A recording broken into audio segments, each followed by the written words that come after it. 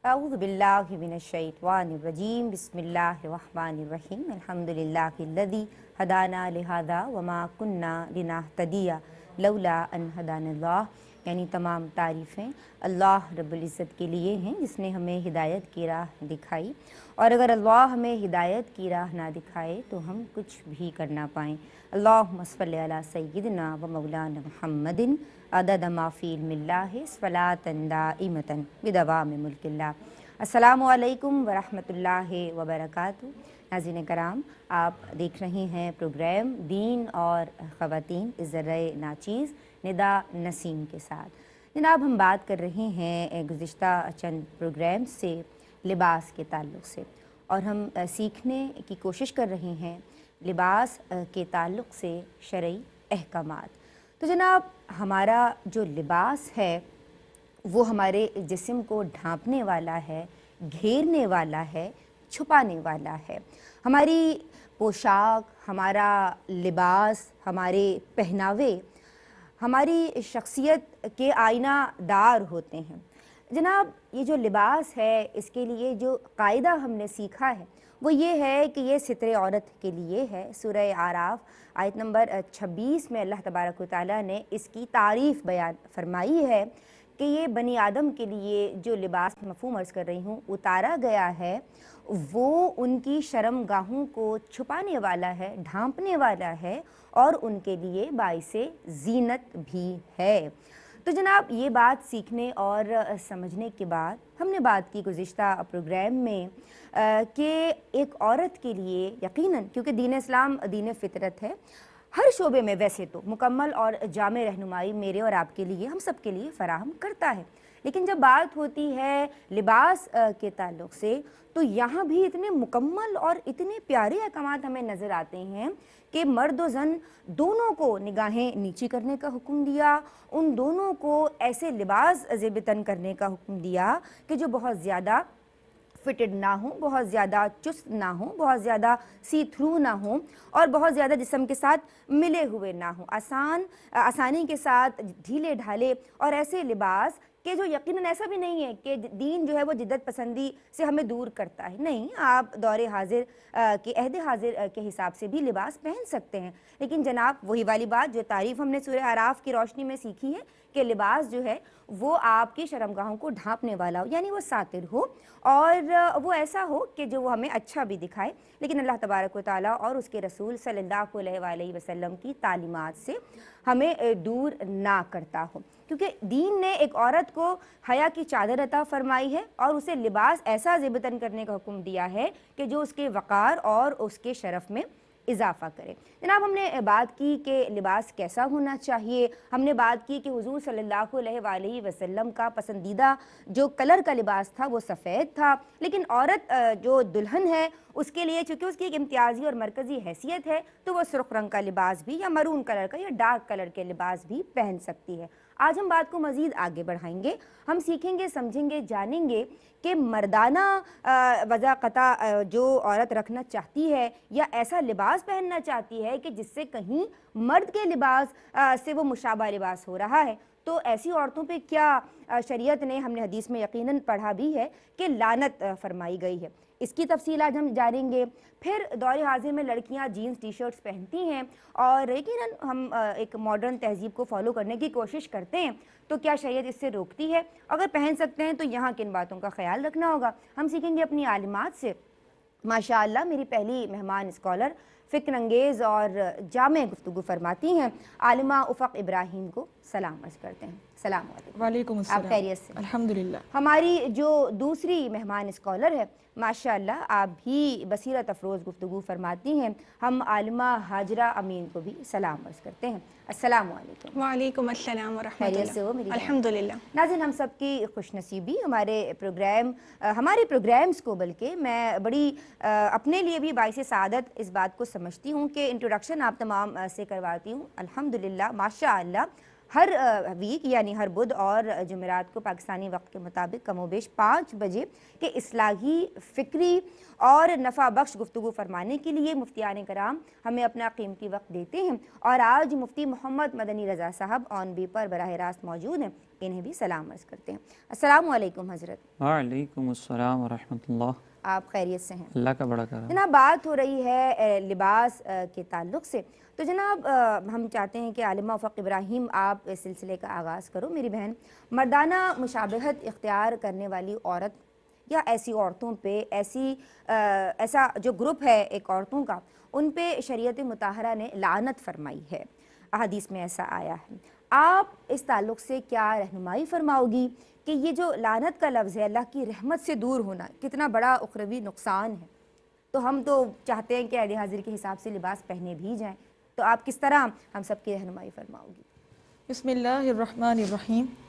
دیکھیں اولاً تو یہ سمجھنا ضروری ہے کہ اللہ عز و جل نے جو نظام کائنات تخلیق فرمایا اس میں مردوں اور عورتوں کے دو الگ انتظام کیے۔ یعنی خاتون کو ذمہ داری دی کہ وہ داخلی امور سنبھالے گی اور مردوں کو ذمہ داری دی کہ وہ خارجی امور سنبھالیں۔ داخلی امور سے مراد یہ ہے کہ گھریلو کام کاج امور خانہ داری کے جو تمام کام ہیں وہ عورت انجام دے گی۔ اور عورت کے نفقے کی جو ذمہ داری ہے یا جو باہر کے کام کاج ہیں وہ شریعت متحرہ نے مرد کے ذمہ کیے اب مسئلہ وہاں پیدا ہوتا ہے کہ جہاں پر اس نظام کو تبدیل کرنے کی کوشش کی جائے یا اس کو الٹنے کی کوشش کی جائے۔ یہاں ہماری خواتین کا اکثر نعرہ سننے میں آتا ہے کہ ہم مردوں کے شانہ بشانہ چلنا چاہتے ہیں۔ اور اس نعرے کی زد میں آ کے بہت سی خواتین وہ کام کر جاتی ہیں کہ جن سے شریعت ان کو روکتی ہے۔ اب بعض خواتین کی تو جاب کرنا مجبوری ہوتی ہے باہر نکلنا ان کی مجبوری کا حصہ ہوتا ہے۔ ٹھیک ہے۔ لیکن کچھ خواتین نے اس کو ٹرینڈ بنا لیا کہ جب تک وہ باہر جا کر اور اس کو فیشن سمجھتی ہیں باقاعدہ کہ ہم باہر جا کر اس طرح کے کام انجام دیں مردوں کی طرح ہم چال ڈھال اختیار کریں تو یہ ہماری ویلیو کو بڑھائے گا۔ ایسی خواتین کے گھر مینج نہیں ہو پاتے۔ وہ اپنے گھر میں کسی نہ کسی پرابلم کو کریٹ کرتے ہوئے اور پھر اپنے شوق کو اور فیشن کو اپنا رہی ہوتی ہیں۔ تو یہ دیکھیں کہ اس طرح کی جو خواتین ہیں ان کے بارے میں حدیث مقدسہ میں آتا ہے لا ينظر اللہ علیہم یوم القیامہ۔ کہ تین افراد یا تین گروہ ایسے ہیں کہ جن کے طرف اللہ عز و جل بروز قیامت نظر کرم نہیں فرمائے گا۔ ان میں سے ایک ہے المرأتو متورجلتو کہ ایسی عورت کے جو مردانہ مشابہت اختیار کرتی ہے۔ اب یہ مشابہت جو ہے وہ فقط لباس سے نہیں ہوتی۔ لباس سے بھی ہوتی ہے انسان کے چال ڈھال سے بھی ہوتی ہے اور اتوار سے بھی ہوتی ہے۔ ایک تو ہے کہ کوئی خاتون کسی مرد جیسا لباس پہن لے یا تو وہ کسی مرد کی طرح چلنا پھرنا شروع کر دے جس طرح مرد بارو انداز میں کلام کرتا ہے وہ ایسے چنگاڑ کے بات کرتی ہو۔ تو کچھ عورتوں کو اس کا بھی شوق ہوتا ہے۔ تو ان تمام خواتین کو جو آپ نے بھی بیان فرمایا کہ ایسے خواتین کے لیے اللہ کی لانت کی وعید آئی ہے۔ اور یہ بہت بڑا اخروی نقصان ہے کہ ایسی خاتون اللہ کی رحمت سے دور ہو جائے گی۔ اچھا اس کا بے شمار نقصانات تو آپ کو بتائے لیکن لانت کی وجہ کیا ہے؟ لانت کی وجہ یہ ہے کہ وہ اللہ کی خلقت میں تبدل اور تغیر کرنے کی مرتکبہ ہو رہی ہوتی ہے۔ یعنی جس نظام کو اللہ عز و جل نے سیٹ فرمایا گویا کہ وہ اپنے طرز عمل سے یہ بتا رہی ہوتی ہے کہ معاذ اللہ اللہ نے جو نظام بنایا وہ غلط تھا اور جو ہم۔ نظام بناتے ہیں وہ درست ہے۔ تو وہ اللہ کی حکمت کو رد کرتی ہے اس کو ڈینائی کرتی ہے اور اس کے بدلے میں شریعت اسے لانت کا مستحق قرار دیتی ہے مستحق کا قرار دیتی ہے۔ اور آپ دیکھیں ایسی خواتین کو ہمارے معاشرے میں بھی اچھا نہیں سمجھا جاتا۔ کیونکہ اب ایک خاتون ہے جس کے لیے اللہ عز و جل نے فرمایا کہ خواتین اپنے پیروں کو زمین پر اتنی زور سے مار کے نہ چلے کہ ان کی زینت ظاہر ہو جائے ہاں۔ یہ آیت مقدسہ کا مفہوم ہے۔ لیکن وہ خاتون جب مردوں کی مشابہت کرنے پر آتی ہے تو وہ مردوں کی طرح باروب انداز چلنے کی کوشش کرتی ہے۔ اسی طریقے سے وہ اپنے چال ڈھال کو اور اپنی بات کے انداز کو بھی مردوں کی طرح بناتی ہے۔ حالانکہ عورت کی تو آواز بھی عورت ہے۔ لیکن وہ جب اس طرح کے شوق اپنانا شروع کرتی ہے تو بے شمار چیزوں کی طرف وہ جاتی چلی جاتی ہے۔ اس میں سے ایک یہ بھی ہے کہ ایسی خاتون کا جو فیوچر ہے وہ خطرے میں ہوتا ہے۔ کیونکہ اس طرح کی عورتوں کو آپ کو ابھی بتایا کہ معاشرے میں لوگ پسند نہیں کرتے۔ اب ظاہر سی بات ہے کل کو اس کی شادی ہونی ہے اور ایسی عورت کو اپنے گھر بہو لا کر بنانا کون پسند کرے گا کہ جو اس طرح کے امور انجام دیتی ہو جینس اور ٹی شرٹ پہن کر اور پھر وہ لوگ مردوں میں گھومتی ہو۔ اچھا پھر یہ ہوتا ہے کہ جو مرد ہوتے ہیں نا وہ بھی اس کو مردوں کی طرح ٹریٹ کرتے ہیں۔ پھر کیا ہوتا ہے کہ جو شریعت نے حیا کا ایک پردہ مرد اور عورت کے درمیان قائم رکھا یہ عورت اس کو چاک کرتی ہے۔ تو یہ بہت بڑے بڑے نقصانات ہیں کہ جو اس وقت فیشن کی جب دھت لگی ہوتی ہے تو نہیں سمجھ آتے۔ لیکن جب انسان اس میں پڑ جاتا ہے نا تو پھر اسے پتا چلتا ہے کہ ہم نے کتنی بڑی مشکلات کو اپنے سر لے لیا۔ تو خلاصہ کلام یہ کہ اس مشابہت کے اخروی نقصانات بھی بے شمار ہیں اور دنیاوی نقصانات بھی آپ گنتے چلے جائیں انکاؤنٹیبل ہیں۔ تو اس سے بچنا چاہیے۔ اللہ عز و جل سے دعا ہے کہ وہ ہمیں اس طرح کے امور سے اجتناب کرنے کی توفیق عطا فرمائے۔ اللہ اکبر ایک کالر ہمارے ساتھ ہیں۔ جی السلام علیکم۔ السلام علیکم۔ وعلیکم السلام ورحمۃ اللہ وبرکاتہ۔ میری بہن کیا نام میرا نام میرا نام بنت بشیر ہے اور میں کراچی سے بات کر رہی ہوں۔ خوش آمدید کہتے ہیں آپ کو۔ سب سے پہلے تو ندا میں آپ کے پروگرام کی تعریف کروں گی۔ ماشاءاللہ آپ کا پروگرام بہت ہی اچھا ہے۔ جی، اور آپ کے پروگرام میں جو عالمات آتی ہیں ان کا سمجھانے کا انداز بہت ہی اچھا ہے۔ یقین مانی۔ یقین ہماری بہت ہی رہنمائی ہوتی ہے۔ میرا عالمات سے سوال یہ ہے کہ نابالغ جو لڑکے ہوتے ہیں لڑکے ہوتے ہیں ان کے سونے کے زیورات پہنانے کی شرعی حیثیت کیا ہے؟ نابالغ خیرا۔ لڑکوں کو۔ ٹھیک ہے جی بہت شکریہ۔ ایک اور کالر جی السلام علیکم۔ السلام علیکم ورحمۃ اللہ وبرکاتہ۔ وعلیکم السلام ورحمۃ اللہ وبرکاتہ۔ میری بہن کیا نام ہے آپ کا اور کیا سوال ہے آپ کا؟ میرا نام نادیہ ہے۔ نادیہ خوش آمدید کہتے ہیں آپ کو؟ میرا سوال ہے کہ پردے میں چہرہ شامل ہے اور ہمارے ہاں مطلب یہ رواج ہے نا شروع میں لڑکی کو پردہ نہیں کرایا جاتا مطلب سب سے پردہ کرنا واجب ہے نا کزنوں سے نہ محرم سے لیکن ادھر ماحول اس طرح کا ہے کہ کزنوں سے پردہ نہیں کرایا جاتا۔ ٹھیک ہے۔ صحیح ہے اس حوالے سے کیا شرعی حکم ہے؟ اچھا مجھے یہ بتاؤ، آپ کی بات مکمل ہو گئی، میں چاہتی ہوں عالمہ حاجرہ امین آپ کی سمت آؤں میری بہن نے اشارتاً گفتگو اس حوالے سے فرمائی ہے، لیکن اب میں ایک، میں چاہتی ہوں کہ مفصل شکل آپ کی جانب سے آئے۔ آج آج کل ہم دیکھتے ہیں کہ جو ماڈرن لڑکیاں ہیں، جو اپنے آپ کو ماڈرنائز سمجھتی ہیں، وہ جینز اور ٹی شرٹس پہنتی ہیں اور لڑکوں کی، جیسے مشابہت بھی اختیار کر رہی ہیں، پاکستان کے لیے یا سب کانٹیننٹ کے لیے یا پھر جو بیرون بیرون ملک مقیم ہیں، ان سب کے لیے اگر وہ مسلمان ہیں، لڑکیاں ہیں، خواتین ہیں، عورتیں ہیں، تو کیا شرعی حکم ہوگا؟ لیکن مجھے ایک بریک کا کہا جا رہا ہے، اپنے لبوں کو درود پاک سے تر رکھیے، بس درود پڑھتے رہیے، حاضر ہوتے ہیں۔ اللہ بسم اللہ الرحمن الرحیم، السلام علیکم ورحمۃ اللہ۔ جناب بریک سے قبل جیسے کہ آج کے پروگرام کا عنوان ہے کہ ہم لباس کے شرعی احکامات سیکھ رہے ہیں۔ سوال میں نے عالمہ حاجرہ سے یہ کیا تھا کہ آج کل یونیورسٹی گوئنگ یا کالج گوئنگ گرلز جو ہیں وہ جینز اور ٹی شرٹس پہن رہی ہیں، خواتین بھی پہن رہی ہیں۔ بعض اوقات ایسا ہوتا ہے کہ اوپر سے برقع یا ابایا پہن لیتی ہیں اور نیچے پہن لی جاتی ہیں۔ تو میں ان تمام جو ہے، وہ سرکمسٹانسز میں چاہتی ہوں کہ آپ جوابات دیں۔ یعنی گھروں میں رہنے والی، باہر نکلنے والی، پاکستان میں انڈو پاک میں مقیم خواتین یا کسی اور، کسی فورن کنٹری میں جو رہتی ہیں، ان سب کے لیے کیا حکم ہوگا؟ یعنی لباس سے کیا خاص کیا گیا ہے کہ ابایا ہی پہنے، یا کوئی ڈھیلا ڈھالا لباس، کوئی بڑی سی چادر لے لیں؟ یا کس طرح مطلب وہ اپنے آپ کو کور کریں؟ کیا شرعی حکم ہوگا اس تعلق سے؟ بسم اللہ الرحمن الرحیم۔ اللہ تبارک و تعالی نے لباس کے حوالے سے سورہ سورہ آراف آیت نمبر 26 میں ارشاد فرمایا یا بنی آدم قد انزلنا علیکم لباسا یواری سوآتکم وریشا۔ کہ اے بنی آدم ہم نے تم پر ایسا لباس نازل فرمایا جو تمہاری شرم کی چیزوں کو چھپاتا۔ اور تمہارے لیے زیب و زینت کا سبب ہے۔ ٹھیک ہے۔ تو اس آیت مقدسہ میں لباس کے دو دو بنیادی اہم مقاصد بیان فرمائے گئے کہ وہ انسان کے ستر کو چھپاتا اور اس کے لیے زینت کا سبب ہے۔ صحیح۔ تو زینت وہی ہمارے لیے جائز ہوگی جو شریعت کے دائرے میں رہ کر اختیار کی جائے۔ چنانچہ کوئی بھی لباس اختیار کریں چاہے اس کو کوئی بھی نام دے دیں اگر تو وہ تین امور کی رعایت کرتا ہے تو اس کا استعمال ہمارے لیے بالکل جائز ہے۔ ان تین امور میں سے سب سے پہلا امر یہ ہے کہ وہ ایسے مٹیریل کا بنا ہوا ہو کہ جس کے استعمال سے شریعت نے منع نہ فرمایا ہو۔ جیسے مردوں کے لیے خالص ریشم پہننا، شریعت نے منع فرما دیا، لہٰذا ان کے لیے ایسا لباس منع ہوگا۔ دوسری صورت یہ کہ وہ لباس انسان کے ستر کو چھپانے والا ہو۔ لہٰذا اگر اتنا زیادہ مختصر ہے کہ اس کے جو اعضا چھپانا لازم ہے، وہ نہیں چھپ رہے یا اتنا زیادہ باریک ہے اس کے اس کے اعضا نمایاں ہو رہے ہیں۔ تو ایسا لباس استعمال کرنا منع ہوگا۔ صحیح۔ اور تیسری صورت یہ ہے کہ وہ لباس کافروں یا فاسقوں کی علامت نہ ہو۔ تو اگر یہ تینوں امور کسی لباس میں پائے جاتے ہیں لیکن اس کی بناوٹ ایسی ہے کہ وہ جسم سے بالکل چست ہے اسکن فٹ ہے جیسے عموماً ٹائٹ یا جینس وغیرہ میں ہوتا ہے۔ تو پھر ایسا لباس پہننے کی دو صورتیں ہیں بنیادی طور پر۔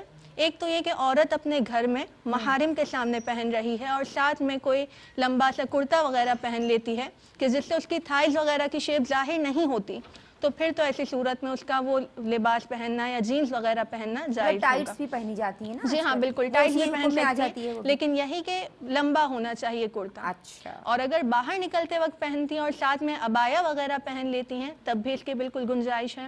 لیکن اگر معاملہ اس کے برعکس ہو کہ غیروں کو دکھانے کے لیے پہنا جائے یا پھر ساتھ میں پردے کا کوئی خاصا اہتمام نہ کیا جائے تو پھر ایسی صورتحال میں ان کا وہ لباس پہننا بھی جائز نہیں اور نہ کسی کا ان کی طرف نگاہ کرنا جائز ہوگا کہ مسلم شریف کی حدیث مبارکہ میں جہنمیوں کی دو اصناف کا ذکر کرتے ہوئے فرمایا وَنِسَاءٌ كَاسِيَاتٌ عَارِيَاتٌ مُمِيلَاتٌ کہ جہنمیوں میں سے ایک وہ عورتیں ہوں گی کہ جو لباس پہننے کے باوجود برہنہ ہوں گی۔ اب لباس کے باوجود برہنہ کیسے کہ وہ اتنا چست لباس پہنیں گی کہ ان کی جسم کی پوری ساخت نمایاں ہوگی۔ اور ان کے بارے میں فرمائے کہ لا يدخلن الجنت ولا يجدن ريحها کہ وہ جنت میں داخل بھی نہیں ہوں گی اور نہ اس کی خوشبو پائیں گی۔ وَإِنَّ رِيحَهَا لَيُوجَدُ مِن مَسِيرَةٍ كَذَا وَكَذَا۔ کہ حالانکہ جنت کی جو خوشبو ہے وہ اتنے اتنے فاصلے سے ہاتھ سونگی جا سکتی ہے صحیح۔ لیکن وہ عورتیں اس خوشبو کو حاصل نہیں کر سکیں گی پھر جیسا کہ آپ نے پوچھا کہ پاکستان میں رہنے والی یا باہر ممالک میں رہنے والی خواتین کے لیے کیا حکم ہے تو اس حوالے سے بنیادی طور پر تو یہ بات ذہن نشین رکھیں کہ اسلام پاکستان میں رہنے والوں کے لیے بھی وہی ہے باہر والوں کے لیے بھی وہی ہے۔ اسلام کے احکامات میں فرق نہیں ہے۔ لہٰذا بنیادی احکامات وہی ہوں گے۔ اگر کسی کے لیے کوئی مجبوری وغیرہ کی صورت ہے تو وہ ایکسیپشنل کیسز ہیں وہ علیحدہ سے بیان کیے جائیں گے۔ لیکن بنیادی حکم یہی ہے کہ وہ ڈھیلی ڈالی پینٹ پہنے یا ڈھیلا ڈھالا لباس پہنے۔ اس طرح کا لباس اگر پہنتے بھی ہیں تو ساتھ میں پردے کا اہتمام کریں ورنہ جائز نہیں ہوگا۔ اللہ تعالیٰ سے دعا ہے کہ وہ لباس کے معاملے میں بھی شرع احکامات پر عمل پیرا ہونے کی توفیق عطا فرمائے۔ اللہم آمین اللہم آمین۔ جناب جدید طرز کا جو لباس ہے وہ زیب تن کیا جا سکتا ہے لیکن جو قاعدہ معلوم ہوا ہے وہ یہ ہے کہ ظہور ستر نہیں ہونا چاہیے۔ جسم کی ساخت یا جسم کی بناوٹ، جسم کی حیت معلوم نہیں ہونی چاہیے۔ تو ایسے لباس، بہت زیادہ ڈھیلا بھی مت پہنیے کہ کوئی آپ کو دیکھ کے کچھ اور ہی سمجھنے لگ جائے۔ لیکن لباس یقیناً ایسا ہو کہ جس سے آپ کے جسم کے ابھار واضح نہ ہوں۔ میں مفتی صاحب کے ساتھ بڑھ رہی ہوں اور مفتی صاحب، لباس کے تعلق سے میری دونوں بہنوں نے، دونوں عالمات نے ماشاء اللہ بہت سیر حاصل گفتگو فرمائی ہے۔ میں چاہتی ہوں کہ آپ اپنے ماشاء اللہ خوبصورت انداز میں اس حوالے سے رہنمائی فرمائیں۔ بسم اللہ الرحمن الرحیم۔ دیکھیں جیسے ہماری بہن نے یہ ذکر کیا نا کہ لباس میں جو مشابہت اختیار کرنے پر لعنت بیان فرمائی، اس کی وجوہات۔ تو ضمناً ہماری بہن نے ذکر کیا کہ جب کوئی خاتون اس طرح کا لباس پہنیں گی، یا بالفرض یہ صرف عورتوں کے لیے وعید نہیں، بلکہ مردوں کے لیے بھی وعید ہے۔ یہ اس کی بنیادی وجہ یہ ہے کہ جب بھی ہم ایک لباس کو اختیار کرتے ہیں تو وہ لباس ہماری کیفیات پر ہمارے جذبات ہمارے خیالات پر بہت زیادہ اثر انداز ہوتا ہے۔ جی۔ جیسے مثال کے طور پر اگر کوئی شخص دینی لباس پہنتا ہے تو پھر وہ اس اعتبار سے اپنی شخصیت کو اپنی پرسنالٹی کو ڈیولپ کرنے کی کوشش کرتا ہے کہ بھئی میں نے ایک ایسا لباس پہنا ہوا ہے کہ جو کسی کی خاص علامت ہے۔ تو اس کی سوچ و فکر پھر اس لباس کے سانچے میں ڈھل جاتی ہے۔ اسی طریقے سے اگر کوئی گندا لباس پہنے تو چاہے وہ کتنی ہی معلومات رکھتا ہو، اس کو تھوڑی سی ہیزیٹیشن ہوگی۔ اور اگر کوئی اچھا لباس پہنتا ہو تو خود اعتمادی حاصل ہوتی ہے۔ اس کا مطلب یہ ہے کہ لباس کا سوچ و فکر پر بہت زیادہ اثر ہوتا ہے۔ اسی لیے اللہ رب العزت نے خواتین کو مردوں کی مشابہت اختیار کرنے سے منع فرمایا اور مردوں کو خواتین کی مشابہت اختیار کرنے سے منع فرمایا جی۔ کیونکہ اس سے ان کی سوچ و فکر میں ان کے عادت و اطوار میں تبدیلی آ سکتی ہے۔ صحیح۔ مرد کو اللہ رب العزت نے جہاد کے لیے مقرر فرمایا اور دیگر ایسے امور کے لیے جو عورتیں سر انجام نہیں دے سکتی اگر مرد زنانہ لباس پہنے تو پھر اس کے عادت و اطوار اس کے چلنے کا انداز بھی پھر ایسے ہی ہو جائے گا۔ تو یقینی سی بات ہے کہ جب لباس خواتین والا لباس پہننے کے بعد مرد کے اندر یہ نازکی آ جائے تو پھر وہ جہاد تو نہیں کر سکتا نا۔ نہ دشمن پر روب ڈال سکتا ہے نہ کوئی اور معاملات اختیار کر سکتا ہے۔ اور اسی طرح اگر خواتین مردوں والا لباس پہنے تو وہ پھر مردوں کی طرح بے باک ہوں گی۔ تو پھر اس بے باکی کے نتیجے میں جو موجودہ دور کے اندر بہت سے بگاڑ ہمیں نظر آ رہے ہیں وہ بھی بگاڑ نظر آئیں گے۔ شوہر سے بدتمیزی اور پھر دیگر بہت ساری چیزیں۔ کیونکہ وہ لباس اس کی سوچ و فکر پر اتنا حاوی ہو گیا کہ اس سوچ و فکر نے پھر معاشرے میں ایک بہت بڑا بگاڑ پیدا کیا۔ تو چونکہ یہ پورا ایک سسٹم کو خراب کر رہا ہے تو ہمارے یہاں پر بھی ایک اصول ہوتا ہے کہ جو بھی کوئی چیز چاہے وہ چھوٹی سی ہو لیکن سسٹم کی خرابی کا سبب بن رہی ہو تو اس پر سختی اس کے لیے رولز بہت زیادہ اسٹرکٹ ہوتے ہیں۔ تو پھر یہاں پر بھی اللہ رب العزت نے اسی لیے لباس کے معاملے میں اتنے سخت رول کو یا اتنی سخت وعید کو بیان فرمایا۔ کیونکہ یہ رول کو یہ نظام کو خراب کرنے والا ہے۔ دوسری بات یہ کہ ہماری بہن نے جو پینٹ شرٹ سے متعلق کویودات بیان کی اس تفصیل کو بھی ذہن نشین رکھا جائے۔ ساتھ میں پینٹ شرٹ پہنتے وقت یہ بھی ضروری ہے کہ وہ پینٹ شرٹ اگر کوئی خاتون پہن رہی ہیں مثال کے طور پر ان قیودات کو سامنے رکھتے ہوئے۔ ویسے تو میں ریکمنڈ نہیں کرتا کیونکہ آج کے دور میں جو ٹی شرٹس ہوتی ہیں وہ ایسی نہیں ہوتی کہ جو بہت زیادہ پراپر طریقے سے جسم کو ڈھانپ سکیں۔ تو باہر جاتے وقت خواتین کو اپنا برقع یا کوئی ایسی بڑی چادر ضرور یا بڑا جو اوپر کرتا ہے وہ ضرور پہننا چاہیے کہ جو ان کے اعضاء جسم کو صحیح طریقے سے ڈھانپ لیں۔ اور اس میں یہ قید بھی ضروری ہے کہ اگر وہ گھر میں بھی پہن رہی ہیں تو کم از کم وہ زنانہ پینٹ شرٹ نہ ہو او سوری مردانہ پینٹ شرٹ نہ ہو بلکہ جو لیڈیز کے لیے خاص فکس ہے وہ پہنیں۔ اس طرح کا ہی پہنیں۔ دوسری بات یہ کہ خواتین اس طرح کے احکام کو سننے کے بعد یہ نہ کہیں کہ ہمارے اوپر تو دیکھیں لباس میں کتنی پابندیاں ہیں۔ یہی کوئی ادات مردوں کے لیے بھی ہیں۔ اور یہی کوئی ادات شریعت متحرہ نے مردوں کے لیے بھی بیان کی ہیں۔ لہٰذا یہ سوچ سوچ و فکر نہ رکھی جائے کہ ہم پر تو اتنی پابندیاں مردوں کے لیے کچھ بھی نہیں۔ مرد چاہیں تو پہن سکتے ہیں۔ پھر اسی طرح اس لباس کو اختیار کرنے کے بعد خواتین یہ نہ سوچیں کہ بعض اوقات ہمیں جب کسی ماڈرن طبقے سے بات کرنی پڑتی ہے تو وہاں پہ یہ اختیار کرنا پڑتا ہے ہماری تو مجبوری ہے۔ دیکھیں لباس اختیار اگر لباس صاف ستھرا ہو تو چاہے آپ کسی بھی لباس میں ہوں آپ کو وہ لباس پہننے کی اگر عادت ہو جائے تو پھر آپ کسی کے سامنے بھی بہت اچھے انداز سے بات کر سکتی ہیں۔ اس کی اگزامپل یہ ہے کہ دیکھیں بہت سے سنگرز ایسے ہیں کہ جو ہمارے یہاں پر ایک عام طور پر جو مانگنے والے ہوتے ہیں نا، اپنے آپ کو صوفی ظاہر کر رہے ہوتے ہیں اور روڈ پر گھوم رہے ہوتے ہیں، کالا لباس پہن کے گلے میں مالائیں ڈال کے روڈ پہ مانگ رہے ہوتے ہیں۔ بہت سے سنگرز یہ لباس پہنتے ہیں اور وہ اسی لباس کے ساتھ اپنے آپ کو پوری دنیا میں پریزنٹ کر رہے ہوتے ہیں۔ وہ تو اس لباس کے اندر کسی قسم کی کوئی شرم و عار محسوس نہیں کرتے۔ اس کا مطلب یہ ہے کہ لباس کا تعلق کانفیڈنس کے لیے لباس ضروری اس اعتبار سے نہیں ہے کہ آپ یہ کہیں کہ بھئی ہمیں پینٹ شرٹ پہننا پڑتا ہے کیونکہ ہمیں اس سے کانفیڈنس ملے گا۔ بلکہ آپ اچھا لباس پہنیں صاف ستھرا پہنیں اور اس لباس کو پہننے کی آپ کی عادت ہو جائے تو پھر آپ کا کانفیڈنس کبھی بھی بریک نہیں ہوتا۔ لہٰذا ان قیودات کو سامنے رکھ کر جو شریعت کو مطلوب ہے اس کو اختیار کیا جائے اپنی سوچ و فکر اور معاشرے کے اثرات کو قبول کر کے پھر یہ کہنا کہ نہیں ہم شریعت کے حکم کو سائڈ میں رکھیں گے اور پھر ہم چلیں گے یہ غلط ہے۔ لہٰذا اس پہ تفکر کیا جائے۔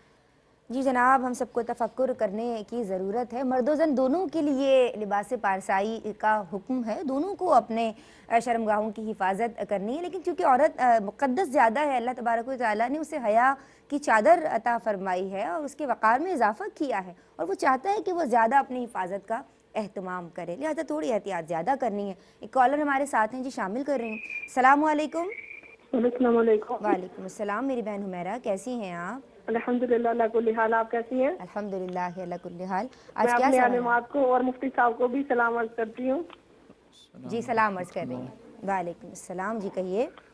اچھا نیزا پہلا سوال یہ ہے کہ متقی پاک باز خاتون کا فاسقہ فاجرہ سے کس حد تک پردہ کرنا ضروری ہوتا ہے؟ فاسقہ فاجرہ سے ٹھیک ہے جی اور؟ اور دوسرا سوال یہ ہے کہ جو شوہر حضرات منع کرتے ہیں اپنی بیویوں کو پردہ کرنے سے تو ایسی خواتین کو کیسے سمجھانا چاہیے اپنے شوہر حضرات کو؟ اس حوالے سے رہنمائی فرمائیے گا۔ ٹھیک ہے جی بہت شکریہ۔ آپ نے ہمیں کال کی ایک اور کالر۔ السلام علیکم۔ وعلیکم السلام۔ میری بہن کیا نام ہے اور کیا سوال ہے؟ میں غالب بول رہی میں یہ کہنا- چاہتی کہ ہم نا دیکھیں ہم پوری شلوار میں پھول پہنتی ہیں نا جیسے کہ پہننے کا ہوتا ہے لمبی قمیض شلوار کھلی پہنتی ہیں۔ جب ہم گھر سے باہر جائیں تو ابایا پہننے کے چادر لے کے بھی جا سکتے ہیں میں یہ کہنا چاہ رہی ہوں کیونکہ ہم اللہ نے عمرہ کرایا تو ہم گئے تو میں دیکھا۔ ٹھیک ہے۔ ابایا ہی پہنا جائے یا چادر بھی پہنی جا سکتی ہے۔ بہت شکریہ بھی اس حوالے سے ضمن بات ہوئی۔ میں چاہوں گی کہ آپ کا سوال بھی شامل کیا جائے۔ لیکن اس وقت پروگرام میں مجھے ایک بریک لینی ہے۔ اپنی زبانوں کو، اپنے لبوں کو درود پاک سے تر رکھیے۔ حاضر ہوتے ہیں جناب۔ بسم اللہ الرحمن الرحیم السلام علیکم ورحمۃ اللہ وبرکاتہ جناب آج آپ دین اور خواتین میں جس موضوع کو دیکھ رہے ہیں جو ہم نے شامل کیا ہے وہ ہے لباس کے شرعی احکامات کیا ہیں۔ ایک کالر ہمارے ساتھ لائن پہ ہیں میں شامل کر رہی ہوں۔ السلام علیکم۔ السلام علیکم۔ وعلیکم السلام ورحمۃ اللہ میری بہن کیا نام ہے آپ کا؟ جی میں رحمت بی بی بول رہی ہوں دوراجی سے۔ رحمت بی بی دوہرا جی سے بات کر رہی جی ہیں۔ آپ کا پروگرام ماشاءاللہ بہت اچھا ہے۔ بہت شکریہ رحمت میں ہاں میں دیکھتی رہتی ہوں میری دو سوال ہے ایک جو میں دعا پڑھتی ہوں نا تو اکثر میں آنکھیں بند کر کے ہی پڑھتی ہوں شروع سے۔ اور یہ گناہ تو نہیں ہے نا۔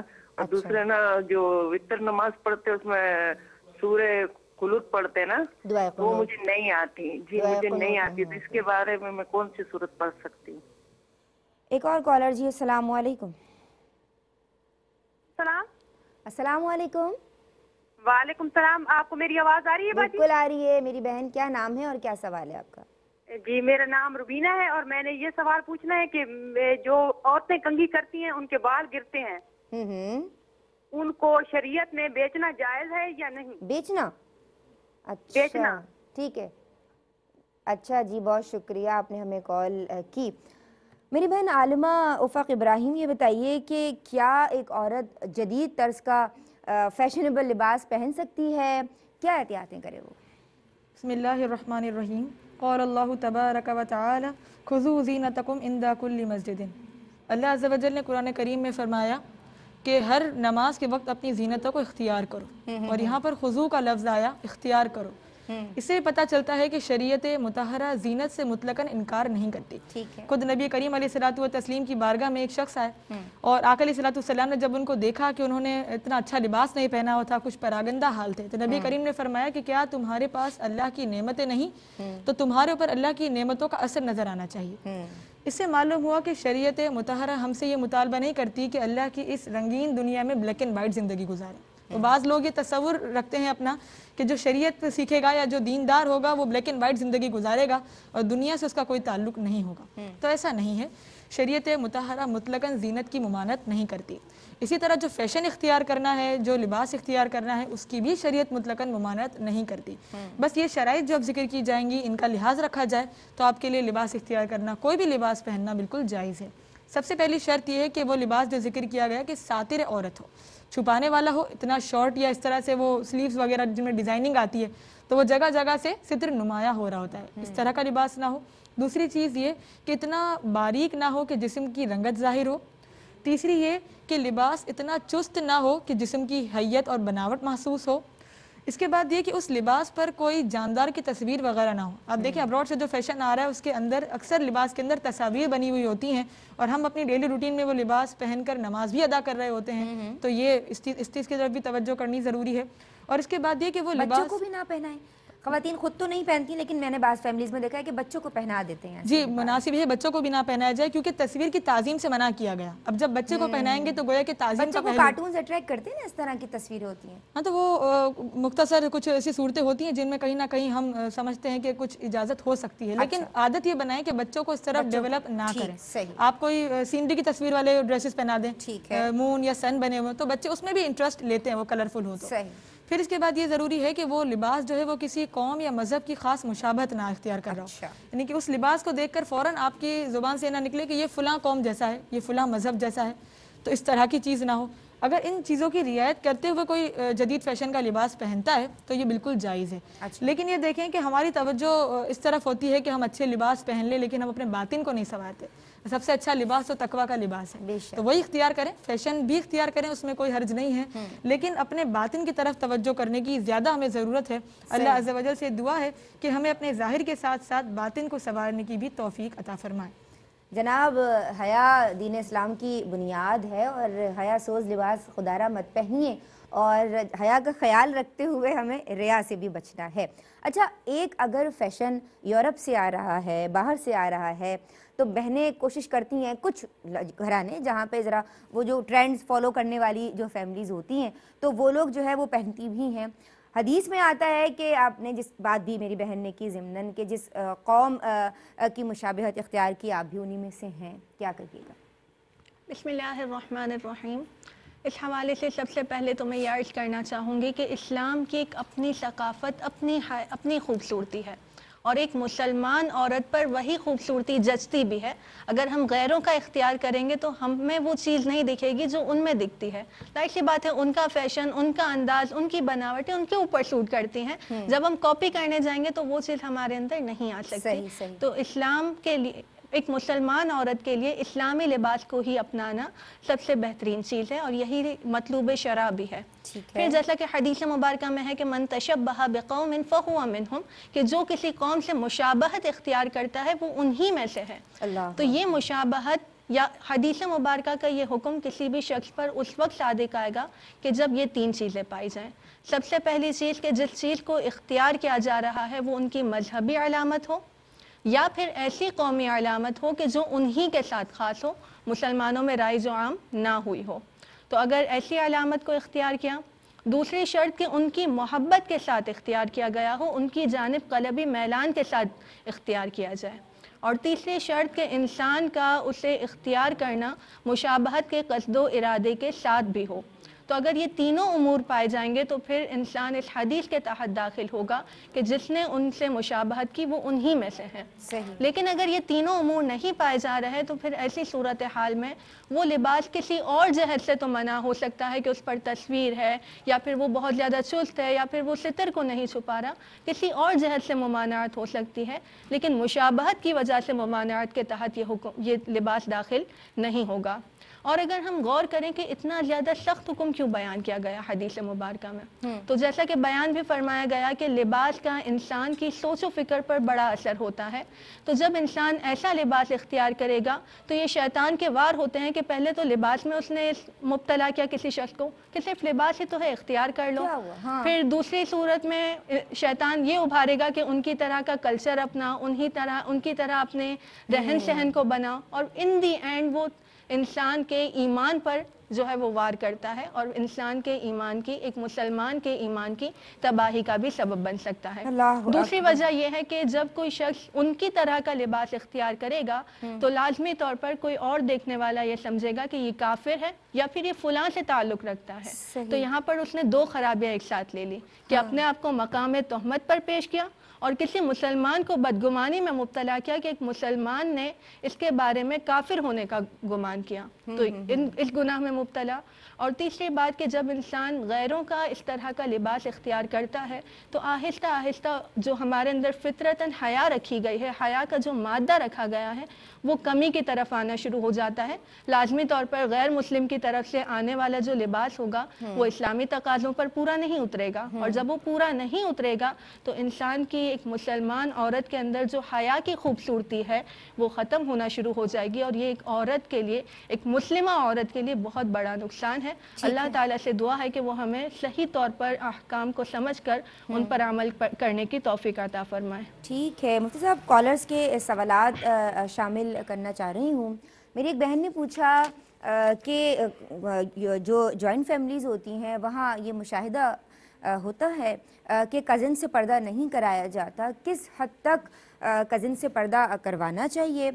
پیرنٹس کو یا گھر والوں کو، کیا چہرے کا بھی پردہ شامل ہے اس میں؟ بسم اللہ الرحمن الرحیم۔ دیکھیں موجودہ دور کے اعتبار سے فقاہ کرام نے چہرے کے پردے کو واجب قرار دیا ہے۔ صحیح۔ کیونکہ پردے کی حکمت یہ ہے کہ کسی بھی ایسے عوض پر نظر پڑنا کہ جو آگے فساد کا سبب بن سکتا ہو۔ صحیح۔ اور موجودہ دور میں چہرہ ایک ایسا عضو ہے کہ جس پر نظر پڑتی ہے اور پھر آگے بہت سارے مسائل پیدا ہو سکتے ہیں۔ صحیح۔ لہٰذا چہرے کا پردہ بھی واجب ہے۔ اور چاہے کزن ہو چاہے کوئی بھی ایسا جو نامحرم ہے اس سے چہرہ چھپانا ضروری ہے۔ البتہ گھر کے اندر خواتین کو وہ جوائنٹ فیملی اگر مستقل بنیادوں پر ہے ساتھ ہی رہ رہے ہیں تو خواتین کے لیے اس حد تک رعایت ضرور موجود ہے کہ وہ ہر وقت تو ظاہر سی بات ہے کہ وہ اپنا چہرہ نہیں چھپا سکتی تو حتی الامکان جتنا وہ کوشش کر سکتی ہیں اپنے آپ کو کزنس کے سامنے آنے سے روکیں۔ اور اگر بالفرض وہ آتی ہیں تو پوری ایک چادر لپیٹ کر صحیح سے آئیں سامنے اپنا کام کریں اور پھر کزنس وغیرہ سے زیادہ فری نہ ہوں اور پھر اپنے کمرے وغیرہ میں چلی جائیں۔ لیکن اگر بالفرض جوائنٹ فیملی سسٹم نہیں ہے تو پھر اب کزن سے پردے سے روکنا یہ ایک بڑے فتنے کو دعوت دینا ہے۔ وجہ اس کی یہ ہے کہ نبی کریم علیہ صلاۃ والسلام سے جب سرکار علیہ صلاۃ والسلام نے پردے کا حکم ارشاد فرمایا تو صحابہ کرام نے عرض کی کہ یا رسول اللہ دیور کے بارے میں آپ کیا فرماتے ہیں؟ تو سرکار علیہ السلام نے فرمایا کہ دیور تو موت ہے۔ یعنی اس کے ساتھ انٹریکشن زیادہ ہوگا اور چونکہ یہ دونوں آپس میں نامحرم ہیں تو پھر یہ محرم کی دیور کی طرف سے بھابھی کے لیے فتنے کا زیادہ اندیشہ ہو سکتا ہے۔ لہٰذا یہاں پر تو پھر پردہ کرنا ہی پڑے گا اور اس میں کوئی رعایت نہیں ہوگی۔ کزنس ہیں یا کچھ بھی ہیں وہ اپنے سگے بھائی نہیں ہوتے۔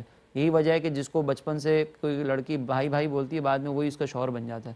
تو اس کا مطلب یہ ہے تو نامحرم۔ تو پھر اس سے پردہ بھی اختیار کرنا ضروری ہوگا۔ اچھا متقی باز بعض ایک مومنہ ہے یا مسلمان عورت ہے، تو وہ فاسقہ اور فاجرہ سے کتنا پردہ کرے؟ دیکھیں وہ فاسقہ فاجرہ اگر خاص طور پر ایسی ہے کہ جو خاص طور پر خواتین کے محاسن اپنے شوہر کے سامنے یا دیگر مردوں کے سامنے بیان کرتی ہے تو اس سے تو مکمل طور پر ایسے ہی پردہ کرنا چاہیے کہ جیسے مرد سے پردہ کرتے ہیں۔ کیونکہ وہ پھر چہرے کے محاسن بھی ذکر کرے گی اور سب کچھ ذکر کرے گی۔ اور اگر بالفرض وہ کسی اور چیز میں فسق و فجور کر رہی ہے تب بھی حتی الامکان اس سے جتنا ہو اتنا پردہ ہمیں اختیار کرنا ہوگا خصوصاً اپنے ناف سے لے کر گھٹنے تک کا گھٹنے کے نیچے تک کا جو حصہ ہے اس کو بھی چھپائیں۔ اس کے علاوہ دیگر جو اعضاء بدن ہیں اس کو بھی چھپائیں۔ جتنا ممکن ہو اس سے وہ پھر پردہ کیا جائے اس کے سامنے بے پردگی نہ کی جائے کیونکہ پھر وہ آگے ذکر کر سکتی ہے۔ اچھا شوہر ہی اگر منع کرے کہ آپ پردہ نہ کریں تو انہیں کیسے سمجھائیں؟ دیکھیں اولاً تو خواتین کے چاہیے کہ جب اگر شوہر اس طرح کا ممانعت کر رہے ہیں تو وہ اس کے فوائد کو ذکر کریں اور خاص طور پر شوہر کے لیے وعید اگر خود بتا سکتی ہیں پیار محبت کے ماحول میں، تو خود وعید ذکر کریں کہ اللہ رب العزت نے ایسے شوہر کو نبی کریم علیہ السلام نے ایسے شوہر کو دیوس فرمایا اور اس کے جنت میں داخلے کو حرام قرار دیا۔ تو یہ شوہر کو بتایا جائے کہ اگر تم میرے ساتھ یہ رویہ اختیار کرو گے تو مجھ پر جو وبال ہوگا، اس کے ذمہ دار تم بھی ہوگے۔ تو یہ آرام سے سمجھایا جائے، بدتمیزی نہ کی جائے۔ اور اگر بالفرض اگر پردہ کرنے میں شوہر کی طرف سے بہت زیادہ مار پیٹ کا یا کوئی اور بہت زیادہ جبر کا اندیشہ ہے اور عورت اسے جان بھی نہیں چھوڑا سکتی کسی طریقے سے۔ تو پھر ایسی صورت میں اگر شوہر منع کرتا ہے شوہر کے ساتھ کہیں جا رہی ہیں اور پھر بے پردگی کر رہی ہیں تو عورت اس کو برا جانتی رہے۔ کیونکہ وہ شوہر کی طرف سے سخت مار پیٹ یعنی ایسی سخت خطرناک کہ جو شوہر کی عورت کے لیے بہت زیادہ اذیت کا تکلیف ہو اس سے بچنا چاہ رہی ہے۔ تو اسی کی نیت رکھے اور پھر اس کے بعد جو ہے وہ اگر چہرہ کھولنے کا کہتا ہے تو چہرہ کھول لے۔ یا اگر بالفرض اور آگے کا بھی کہتا ہے تو وہ پھر معلومات کر لے کہ وہ شوہر کس حد تک نقصان پہنچا سکتا ہے اس کے مطابق پھر اس کو حکم دیا جائے گا۔ لیکن اگر نارملی ہے تو پھر عورت دائرہ ادب میں رہتے ہوئے شوہر سے عرض کرتی رہے اور پردہ اختیار کرے۔ تھوڑی بہت ناراضگی اگر ہوتی ہے تو اس کا کوئی مسئلہ نہیں ہے۔ وہ پیار محبت سے سمجھاتی رہیں گی تو انشاءاللہ شوہر ضرور مان لے گا۔ اچھا کنگی کرتی ہیں بال گرتے ہیں وہ بال بیچ سکتی ہیں؟ نہیں۔